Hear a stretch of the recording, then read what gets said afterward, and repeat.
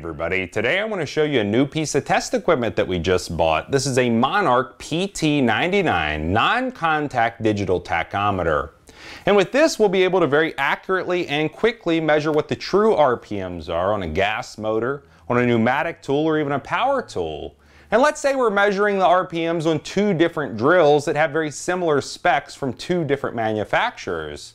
Because we'll no longer have to rely on what they claim the RPMs are, we can see without a doubt the difference between the two drills. And we might find that one has specs that are dead on, and the other one that's its competition might have specs that are way off. So this is a very good thing to have, especially if you're testing tools, you're rebuilding small engines, or let's say you just have a lot of things around your workshop that you want to test out to see what the true RPMs are. This meter will allow us to do that. So next let me give you some closer-up looks at this. We're going to go over how it operates and then we're going to see how it actually performs. Here's a closer look at the PT99 and I want to point out right off the bat that it is very lightweight coming in at under half a pound or only roughly 7 ounces. It's just under 7 inches long, just under 2.5 inches wide, and then it's roughly 2 inches thick. To install batteries in the unit, it is going to take standard double A's, and if you notice the rear, it is going to be a removable little cap. You can press down on that, pull it down, and it exposes the battery compartment underneath. And with two double A's, it's going to run for approximately 60 hours. Which means if you do use this and you don't forget to turn it off, those batteries should last you for a very long time.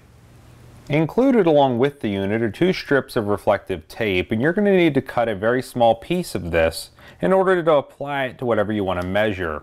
Now rather than take this and apply it to the drill chuck, which I would then have to remove and throw away, I'm going to take this very small bit, I'm going to apply it to that, and that means that I can reuse this particular bit on whatever I want to measure in the future whether that's additional drills or even impact drivers, I can just remove it from the chuck installed in the next tool, and as it spins, it's going to pick up that reflective tape, giving us our reading.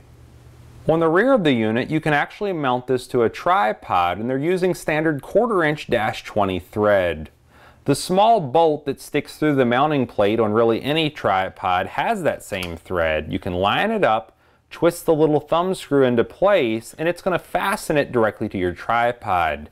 This will allow you to have hands-free operation and you can use your hands to operate a power tool. You can lock the unit on and it's going to give you an instantaneous reading as to what the RPMs actually are. There are two different modes of operation. The first is if you just hold down the button, you'll notice the LED come out the end. And that's going to give you an instantaneous reading as to how many RPMs it counts as that reflective tape passes through the field.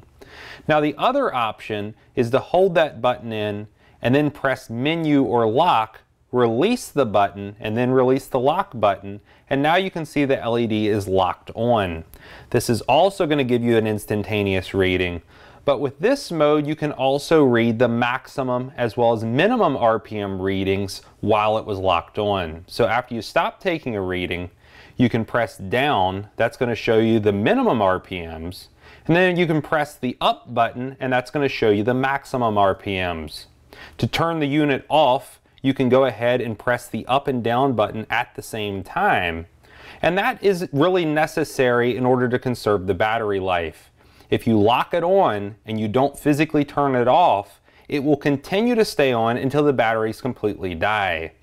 But if you remove it off of lock by pressing the middle button as well as menu lock again, now it will time itself out and automatically cut off after 90 seconds. And lastly, you do have the option of either moving the position of the decimal point or removing it completely. Now stock out of the box, it's going to be at its maximum setting, showing three positions after the decimal point. To change that, you'll just press the menu button. It's going to say decimal point with the number three. You can press that down. It would be two, being two positions after the decimal point. Press it down again, it would be one. If you press it down a third time, it's actually going to say none. If we press menu, you can see there is no longer a decimal point or any numbers after it. And if you're taking a reading with this, it most likely would be easier to tell exactly what the RPMs are. Now there will be limitations with the unit, and if you happen to run into a problem, perhaps you're just too far away. It has a maximum working range of 3 feet or 36 inches, so if you're farther away than this, it can't accurately pick up the reflective tape as it spins. So if you do have a problem, just move the unit closer to what you're trying to read, and most likely that's going to clear up the issue.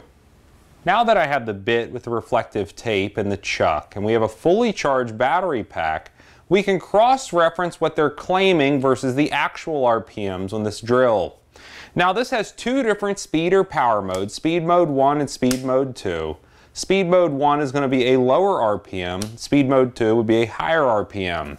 In mode 1 they're claiming at up to 0 to 400 RPMs, and in mode 2 they're claiming 0 to 1500 RPMs. We'll be able to test that now by just holding it on the trigger. It will illuminate the red LED, which is going to hit that reflective tape, and as it spins, it's going to take an instantaneous reading as to how fast it's spinning. So with it spinning in first gear, you can see that we're hitting roughly 383 RPMs, which is very close to the claim of 400 RPMs. When we bump that to second gear, we'll try the same test over again. And with it in second gear, we're coming in at 1,421 RPMs, which is almost 80 RPMs under what they claim for this drill. But certain pneumatic tools like this angle die grinder will be rated at a much higher RPM. This unit's rated at up to 22,000 RPMs with 90 psi of working pressure. And I put a piece of reflective tape on the mandrel. We'll go ahead and take a reading on it now and see exactly what it's spinning at.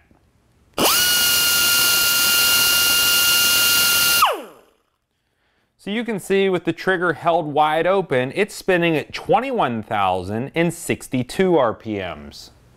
We won't only be limited to pneumatic tools and then cordless power tools. Corded units like this floor model drill press that does have numerous speeds can also be tested and verified. Now you would adjust the different speed settings by how you arrange the belts on the spindles. And the way I have this currently set up, it's set for 450 RPMs.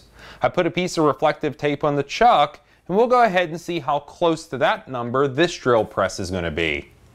I'll go ahead and turn the drill press on and then aiming the PT99 at the reflective tape on the chuck, we'll see how close it comes to that setting.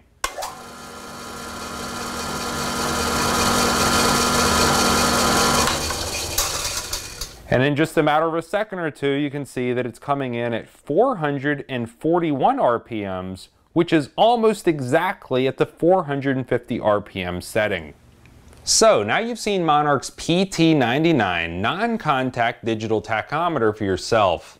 It's very easy to use, it's very lightweight, and like I showed you in those clips, we got instantaneous results showing us what the actual RPMs really were.